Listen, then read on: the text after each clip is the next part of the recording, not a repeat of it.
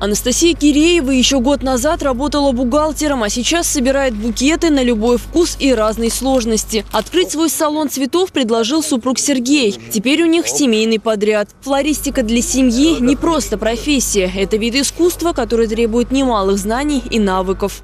Здесь очень много тонкостей тоже, как в любом деле.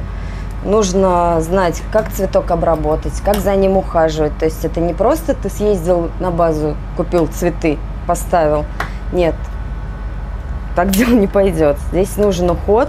Сам Сергей Киреев 12 лет отслужил во флоте. Он штурман дальнего плавания. После травмы решил оставить морские суда и теперь вместе с женой собирает композиции. Знает историю каждого цветка и то, как за ними ухаживать. Чтобы растения с момента закупки не завяли, важно правильно настроить холодильную камеру и выбрать идеальную температуру для них. Это от 3 до 8 градусов. Не то, что поставил его и забыл, все, нет.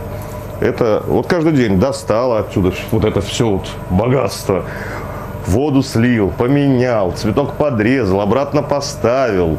И каждый цветок любит свое. Допустим, розу нужно, ей воды нужно наполнять примерно где-то 50-60% воды в вазоне. При создании композиции цветочные ремесленники прежде всего отталкиваются от предпочтений покупателя. Важно, по какому поводу дарят букет и даже то, какой характер у получателя. Очень нравится этим заниматься.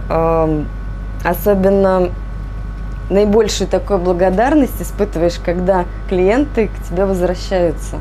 Сейчас в цветочной моде более сдержанные тона. В композиции должны быть оттенки одного цвета. Наибольшей популярностью у покупателей пользуется роза. Несмотря на то, что это традиционный цветок, он поражает многообразием сортов. Для молодежи сейчас стало модно, вот, допустим, гипсофила. То есть, ну, они любят большие объемные букеты. Он получается такой и бюджетный, и достаточно большой.